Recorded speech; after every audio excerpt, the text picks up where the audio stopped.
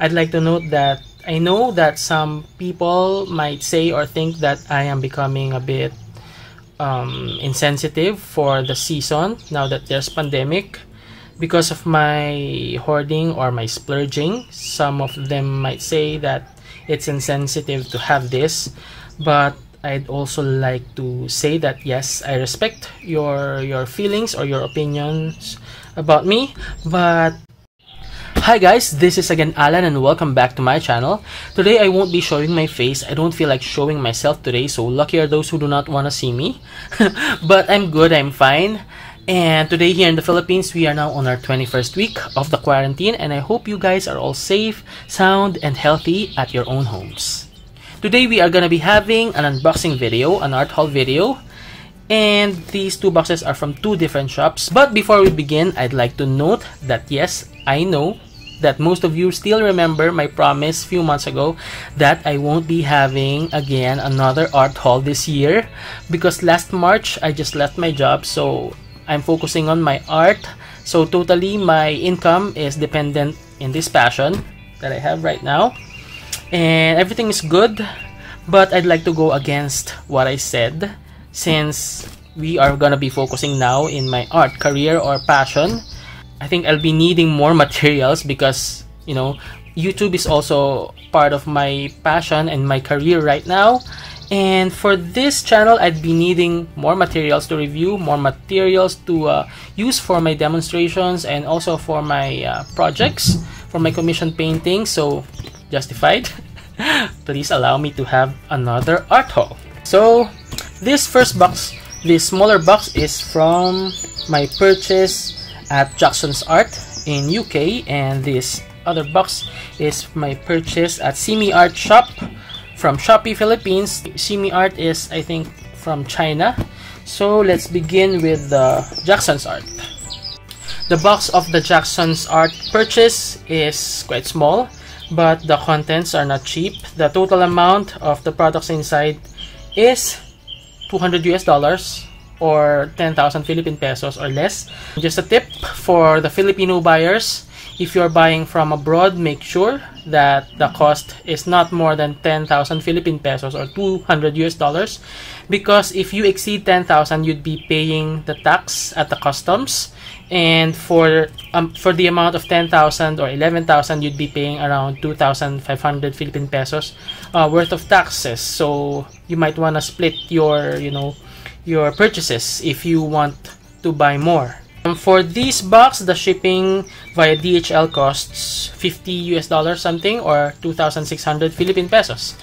So, yeah, it's not a cheap purchase but I really need all of these brands and tubes because I need them for my commission paintings now. So, anyway, let's not make it any longer. Let's do the unboxing. Be careful not to hurt the contents.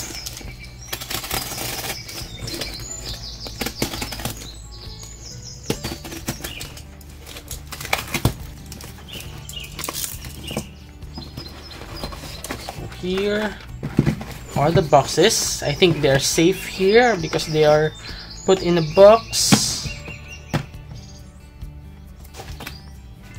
but some tubes are not in boxes.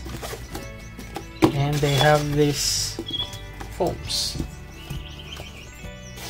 And here's my receipt. So here you'll see the total is 12,026.27 Philippine pesos so there's no tax. And here's the breakdown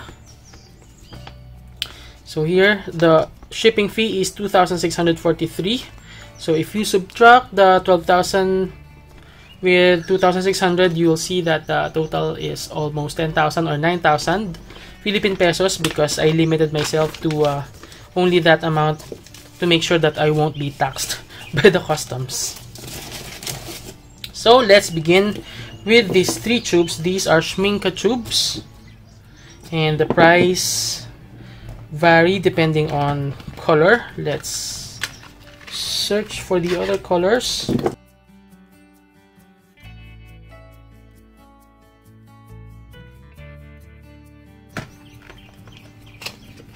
Okay, so here are the Schmincke tubes.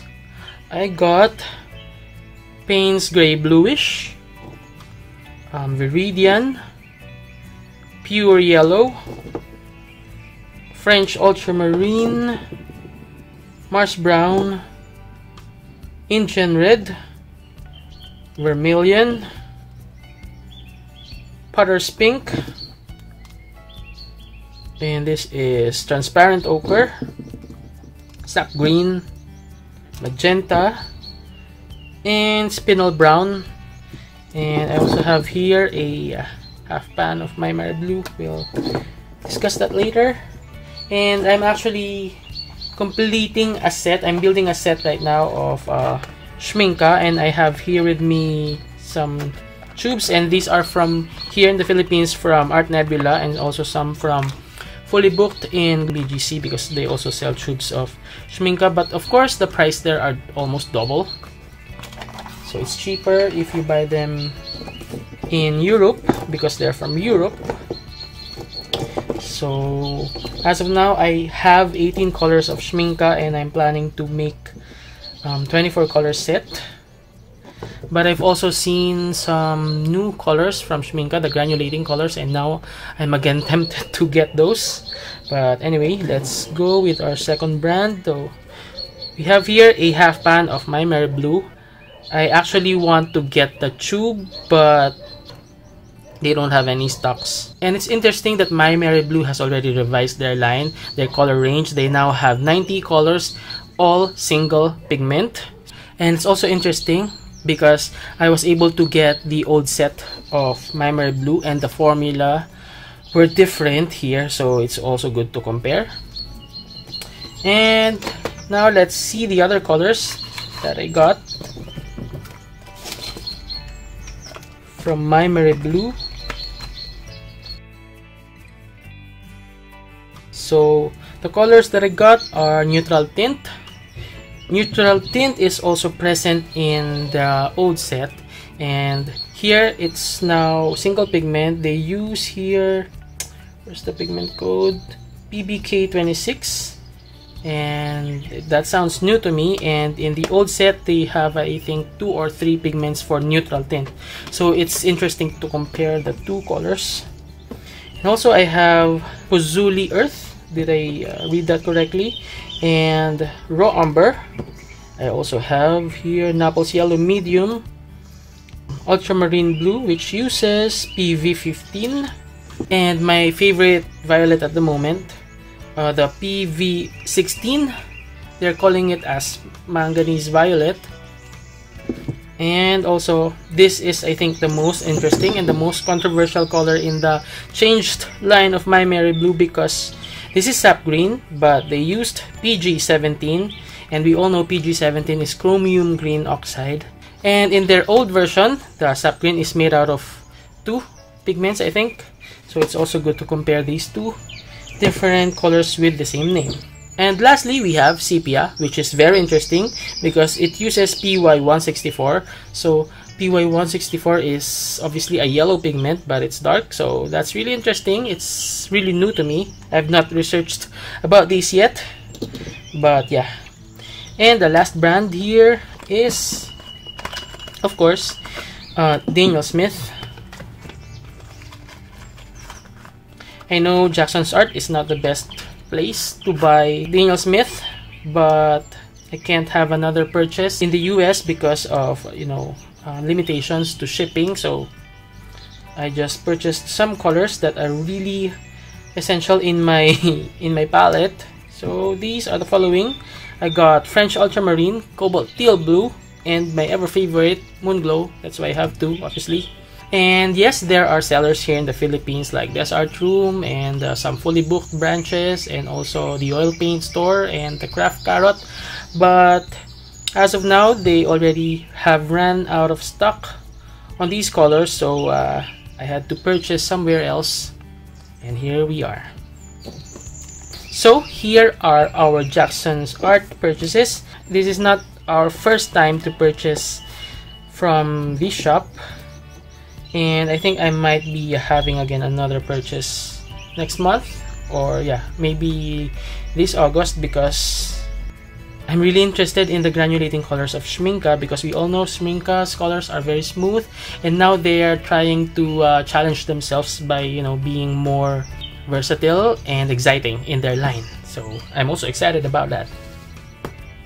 And now let's proceed to our second box which is from seamiart.ph account at Shopee Philippines This is from China. And this is not new to me also because earlier I have purchased them these Fan Superior the Potentate Accordion watercolor pad and of course the ever hit SeamiArt watercolors. This is the 50 color set which is I think already sold out today but I know they are gonna restock soon so just follow their accounts Anyway, this is not sponsored, but Art was generous enough to give me a gift voucher, so I have a huge discount in this purchase, which I'm very thankful for. By the way, that gift is for putting the link in my YouTube description on the, the review of the seamiart.ph. So, SeamiArt, thank you for the voucher, and uh, I really enjoyed reviewing your products, and I really think it is very good for beginners and for those who are trying out watercolors. Anyway, I'll be putting at the description box all the links where you can purchase all the materials that we have here today.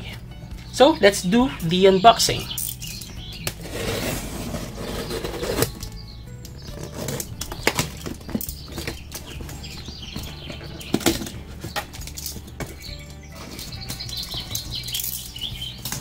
So let's begin with this tin palette. And this is an ordinary tin palette. It can fit 12 to 14 half pans and it has a ring at the back. But what's special about this tin palette is that it has three wells because for this size we usually have only two wells. So that's pretty cool. And this costs only 145 Philippine pesos or roughly 3 US dollars. Next item is our handbook potentate handbook. It's 24 sheets 300 grams 90 by 140 I believe this is watercolor paper. It should be. um, this is 199 Philippine pesos or 4 US dollars and it's very cheap and very handy.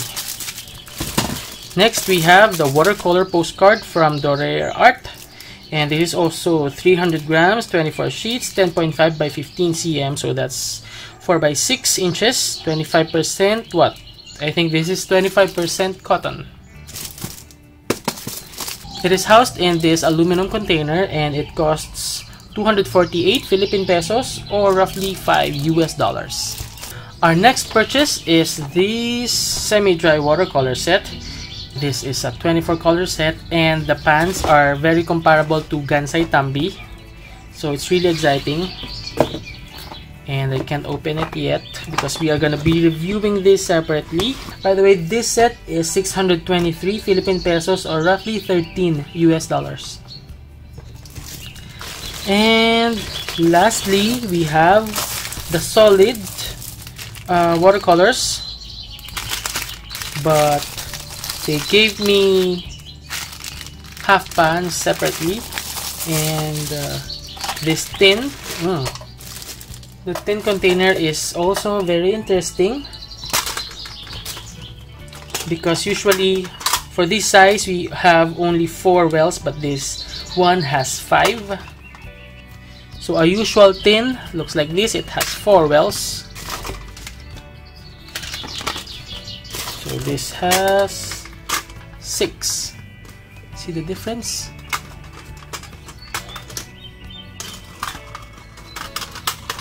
So here we have 24 half pans of SeamiArt and I just hope that there are no duplicates in this set. We are gonna know once we make our review of this set. So that's cool. We are gonna be reviewing this set separately and I hope you can uh, wait for that so let me know in the comment section which one do you want me to review first the semi-dry watercolors of SeamiArt or the solid watercolors So here are all the items in our art haul, unboxing or hoarding video, whatever you call it. And by the way, I have placed these half pants in the tin set that the SeamiArt provided. And I've also noticed that the black and the white look differently. The pants look bigger. Anyway, we are going to be reviewing this separately. But as of now, I think I'm gonna review the semi-dry watercolor first because it's very interesting. But yeah, let me know in the comment section which one do you want me to review first. This one or this one or this one. But as of now, we cannot do the paper yet because I'm still unfortunately doing the setup for that. And also, um, I'd like to note that I know that some people might say or think that I am becoming a bit um, insensitive for the season now that there's pandemic.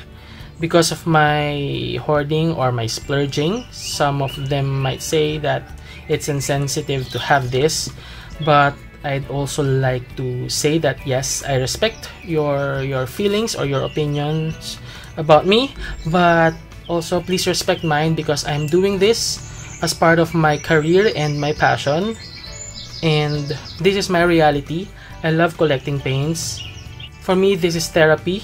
And I believe through my channel, through my reviews, through my opinions, through my researches, I'm able to help other artists, other people who are, you know, looking for art materials that match their means and their needs. So I hope you also understand that and accept that.